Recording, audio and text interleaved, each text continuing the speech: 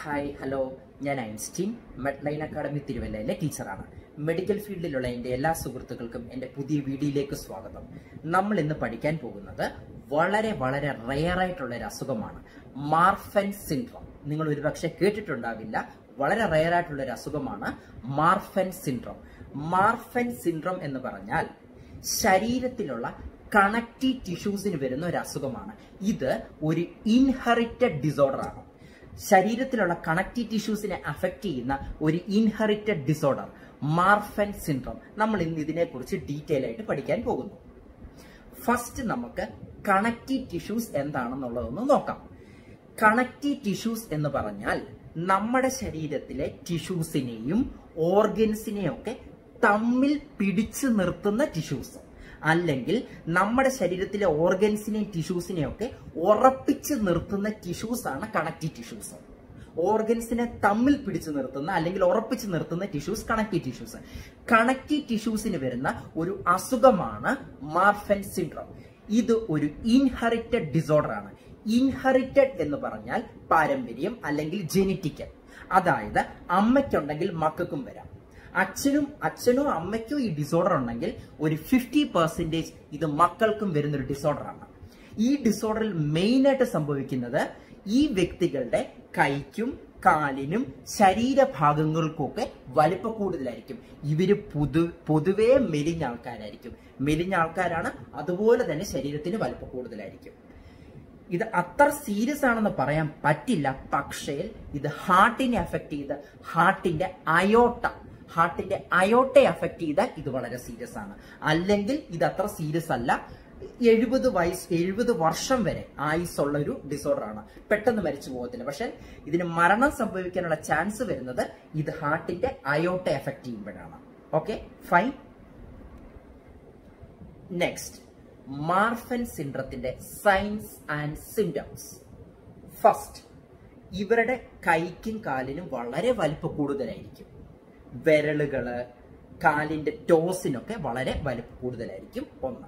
രണ്ട് ഇവരുടെ നെഞ്ച് നെഞ്ച് നമ്മുടെ ഈ ഭാഗം ഒന്നെങ്കിൽ പുറത്തോട്ട് ഉന്തി നിൽക്കും അല്ലെങ്കിൽ അകത്തേക്ക് കുഴിഞ്ഞിരിക്കുന്ന പോലെ ഇരിക്കും. ചില ആൾക്കാർക്ക് പുറത്തോട്ട് ഉന്തിയായിരിക്കും ചില ആൾക്കാർക്ക് കുഴിഞ്ഞ നെഞ്ചായിരിക്കും. നെക്സ്റ്റ് ഇവരുടെ കാഴ്ച അഫക്റ്റ് ചെയ്യും. കണ്ണിന്റെ ടിഷ്യൂസിനെ കണക്റ്റീവ് ടിഷ്യൂസിനെ അഫക്റ്റ് ചെയ്താൽ ഇത് കാഴ്ചയെ അഫക്റ്റ് ചെയ്യും. അതുപോലെ തന്നെ ഇത് കാഴ്ച എഫക്റ്റ് ചെയ്യുന്നു. വായിൽ പല്ല് പല്ലിന്റെ എണ്ണം കൂടുതലായിരിക്കും. അല്ലെങ്കിൽ മോണയുടെ സ്ട്രക്ചർ ഒക്കെ അബ്നോർമൽ ആയിട്ടിരിക്കും. നെക്സ്റ്റ് ഇവരുടെ സ്പൈനിൽ സ്പൈനൽ കോഡിന് പ്രശ്നം വന്നിട്ട് സ്പൈനൽ കോഡ് വളഞ്ഞു പോകും. സ്കോളിയോസിസ് എന്ന അസുഖം വരും. സ്പൈനൽ കോഡ് വളഞ്ഞിട്ട്. ഇതൊക്കെയാണ് മോസ്റ്റ് കോമൺ ആയിട്ട് കാണിക്കുന്ന സൈൻസ് ആൻഡ് സിംറ്റം പക്ഷെ ഏറ്റവും ഇമ്പോർട്ടന്റ് കാര്യം ചേട്ടനും ഉണ്ട് ഈ അസുഖം അനിയനും ഉണ്ട് ഈ അസുഖം. ചേട്ടൻ കാണിക്കുന്ന അബ്നോർമാലിറ്റീസ് ആയിരിക്കില്ല അനിയൻ കാണിക്കുന്നത്. അവർ രണ്ടുപേരും കാണിക്കുന്ന അബ്നോർമാലിറ്റീസ് ആയിരിക്കില്ല മൂന്നാമതൊരാൾ കാണിക്കുന്നത്. ഓരോ പേഷ്യന്റിനും ഓരോ തരത്തിലുള്ള സിംറ്റംസ് ആയിരിക്കും കാണിക്കുന്നത്.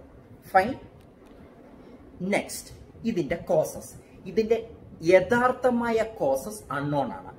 എങ്കിലും ഇത് ഇൻഹെറിറ്റഡ് ആണ് ജനറ്റിക്കൽ ആണ്. അത് ഞാൻ ഫസ്റ്റ് പറഞ്ഞ പോലെ തന്നെ അച്ഛനോ അമ്മയ്ക്കോ ഉണ്ടെങ്കിൽ ഇത് മക്കൾക്കും വരാൻ അൻപത് ശതമാനം ചാൻസ് ഉണ്ട് അമ്മയ്ക്കോ അച്ഛനോ ഉണ്ടെങ്കിൽ ഇത് മക്കൾക്ക് വരാൻ. ഇതിന്റെ ഏറ്റവും വലിയ റിസ്ക് ഫാക്ടറും ഇത് തന്നെയാണ് ജനറ്റിക്കൽ നെക്സ്റ്റ് നമ്മൾ പഠിക്കാൻ പോകുന്നത് മാർഫൻ സിൻഡ്രത്തിന്റെ കോംപ്ലിക്കേഷൻ മാർഫൻ സിൻഡ്രത്തിന്റെ ഏറ്റവും വലിയ കോംപ്ലിക്കേഷൻ ആണ് അത് ഹാർട്ടിന്റെ അയോട്ടെ അഫക്റ്റ് ചെയ്യുക അയോട്ടയിലുള്ള കണക്റ്റീവ് ടിഷ്യൂസിനെ അഫക്റ്റ് ചെയ്യുക.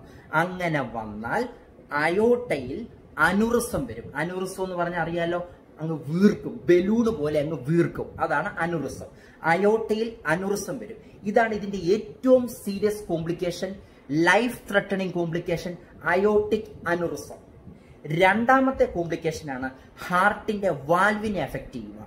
വാൽവിലുള്ള കണക്റ്റീവ് ടിഷ്യൂസിനെ എഫക്റ്റ് ചെയ്താൽ മിട്രൽ വാൽവ് പോലുള്ള വാൽവുകൾക്ക് പ്രോബ്ലംസ് വരാം. രണ്ടാമത്തെ കോംപ്ലിക്കേഷൻ ഹാർട്ടിന്റെ വാൽവിന്റെ കോംപ്ലിക്കേഷൻസ് തേർഡ് കോംപ്ലിക്കേഷൻ മൂന്നാമത്തെ കോംപ്ലിക്കേഷൻ അത് കണ്ണിനകത്തുള്ള കണക്റ്റീവ് ടിഷ്യൂസിനെ അഫക്റ്റ് ചെയ്ത് കഴിഞ്ഞാൽ ലെൻസിന്റെ പൊസിഷൻ ചേഞ്ച് ആകും ലെൻസിന്റെ പൊസിഷൻ ചേഞ്ച് ആയാൽ അത് കാഴ്ചയെ അഫക്റ്റ് ചെയ്യും. റെറ്റിനൽ ഡിറ്റാച്ച്മെന്റ് ഗ്ലോക്കോമ പോലുള്ള അസുഖങ്ങൾ ഉണ്ടാകാനുള്ള ചാൻസ് ഉണ്ട്.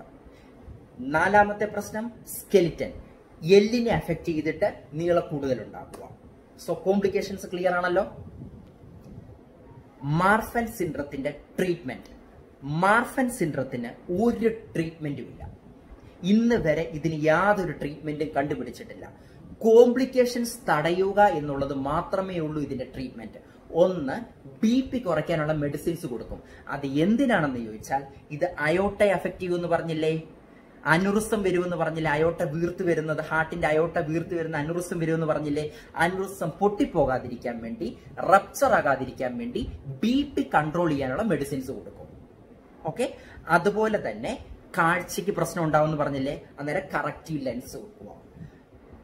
സർജറികൾ അനുറുസത്തിന്റെ സർജറികൾ അതുപോലെ തന്നെ ഈ നട്ടൽ വളഞ്ഞിരിക്കുന്ന സ്കോളിയോസിസ് ഉണ്ടെന്ന് പറഞ്ഞില്ലേ?